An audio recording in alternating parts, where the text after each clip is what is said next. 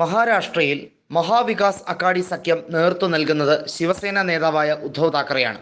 അവിടെ മുഖ്യ ഭരണപക്ഷം എന്ന് പറയുന്നത് ശക്തമായും ബി ജെ പി റൂൾ തന്നെയാണ്. ബി ജെ പി ഭരിക്കുന്നുണ്ടെങ്കിലും അവിടെ മുഖ്യമന്ത്രിയായി പ്രതിഷ്ഠിച്ചിരിക്കുന്നത് ഒരു ഡമ്മിയാണ് എന്ന് പലരും കളിയാക്കുന്നുണ്ട്. ഏക്നാഥ് ഷിൻഡെ ശരിക്കും ഡമ്മി ഭരണമാണ് അവിടെ നടത്തുന്നത്.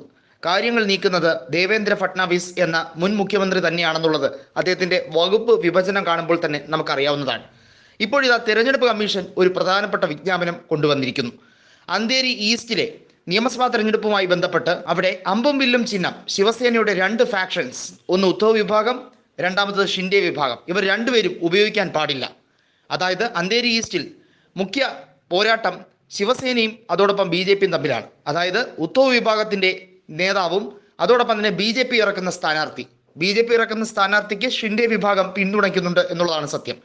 യഥാർത്ഥ ശിവസേന തങ്ങളാണ് എന്നും ശിവസേനയുടെ നേതൃത്വവും അതോടൊപ്പം പാരമ്പര്യവും അവകാശപ്പെടുന്നത് ഞങ്ങൾക്കാണെന്നും ഉദ്ധവ് താക്കറെക്കെതിരെ ഷിൻഡെ വിഭാഗം ആഞ്ഞടിക്കുന്നുണ്ട്. പക്ഷേ ഉദ്ധവ് വിഭാഗം കൃത്യമായി പറയുന്നുണ്ട് ഞങ്ങൾ വർഷങ്ങളായി ശിവസേനക്കാർ തന്നെയാണ്. അതിൽ നിന്നും കുറച്ചു പേർ ഞങ്ങളോട് തെറ്റിപ്പിണക്കി പോയിരിക്കുന്നു. അധികാരം കിട്ടിയെന്ന് വിചാരിച്ച ഷിൻഡെ വിഭാഗത്തിന് ഒരിക്കലും ശിവസേനയിൽ സ്ഥാനമില്ല. ഇത് പറഞ്ഞുകൊണ്ടാണ് ഇലക്ഷൻ കമ്മീഷന് കത്തയച്ചത്. മാത്രമല്ല സുപ്രീം കോടതിയിൽ ഇതിനോടകം തന്നെ റിട്ടും കൊടുത്തിരിക്കുകയാണ്.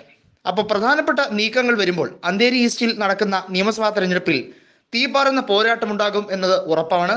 അവിടെ ഏതായിരിക്കും ഇലക്ഷൻ സിമ്പൽ എന്നുള്ളത് തെരഞ്ഞെടുപ്പ് ചിഹ്നം എന്നുള്ളത് അവിടെ വലിയ രീതിയിൽ ചർച്ചയാവുകയാണ്. പുതിയ ഏതെങ്കിലും ചിഹ്നം ഔദ്യോഗികമായി അനുവദിക്കുകയാണെങ്കിൽ മാത്രം അത് ഉപയോഗിക്കാനേ കഴിയുകയുള്ളൂ. ശിവസേനയുടെ ഔദ്യോഗിക ചിഹ്നമായിട്ടുള്ള അമ്പും വില്ലും ഉപയോഗിക്കാനുള്ള യാതൊരു സാധ്യതയും കാണുന്നില്ല.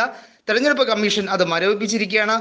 വരും കാലങ്ങളിലും അതുതന്നെ ആയിരിക്കുമെന്നുള്ളത് ഉറപ്പായി കഴിഞ്ഞിരിക്കുന്നു. പുതിയ പാർട്ടി പേരിടുകയോ അല്ലെങ്കിൽ അത്തരത്തിലുള്ള സംവിധാനങ്ങൾ കൊണ്ടുവരികയോ ചെയ്യേണ്ടത് ഇപ്പോൾ രണ്ട് വിഭാഗക്കാരുടെയും ബാധ്യതയായി ഒരുപോലെ തന്നെ അവശേഷിക്കുകയാണ്.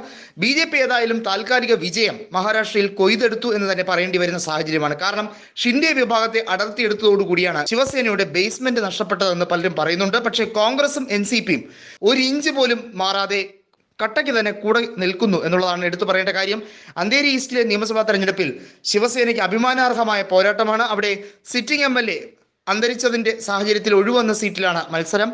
അവിടെ ഉദ്ധവ് വിഭാഗത്തിന്റെ ഒരു സ്ഥാനാർത്ഥിയായി സിറ്റിംഗ് എം എൽ എയുടെ പത്നി മത്സരിക്കും എന്നുള്ളത് ഉറപ്പായി കഴിഞ്ഞിരിക്കുകയാണ്. അതുകൊണ്ട് തന്നെ ലാഡ് ലാഡ്കെ രമേശ് അന്തരിച്ച ഒഴിവിൽ അദ്ദേഹത്തിന്റെ പത്നിയായിട്ടുള്ള റുതുജ മത്സരിക്കും എന്നുള്ളത് ഉറപ്പായി കഴിഞ്ഞിരിക്കുന്നു. ശിവസേന സിമ്പലിൽ മത്സരിക്കുമെന്നാണ് ആദ്യം കേട്ടത്. പക്ഷേ ഇപ്പോഴത്തെ ഇലക്ഷൻ കമ്മീഷന്റെ അറിവോടുകൂടി അവർക്ക് സ്വതന്ത്രമായിട്ടുള്ള മറ്റേതെങ്കിലും ചിഹ്നം അനുവദിക്കുമെന്നുള്ളത് ഉറപ്പായി കഴിഞ്ഞിരിക്കുന്നു. ശിവസേനയ്ക്ക് ഇത് അഭിമാനാർഹമായ പോരാട്ടമാണ്. മഹാവികാസ് അഘാടി സഖ്യം ഇവിടെ ജയിക്കും എന്നാണ് കോൺഗ്രസിന്റെ അധ്യക്ഷൻ കൂടിയായിട്ടുള്ള നാനാ പട്ടോലെ പറഞ്ഞിരിക്കുന്നത്. മഹാരാഷ്ട്രയിൽ എന്ത് തന്നെയായിരുന്നാലും ഒരു തീപാറുന്ന പോരാട്ടം നടക്കും എന്നുള്ളത് ഉറപ്പായി കഴിഞ്ഞിരിക്കുന്നു. കൂടുതൽ വാർത്തകൾക്കും വാർത്തകളിലെ വസ്തുതകൾക്കും ഈ ചാനൽ സബ്സ്ക്രൈബ് ചെയ്ത് ഫോളോ ചെയ്യുക.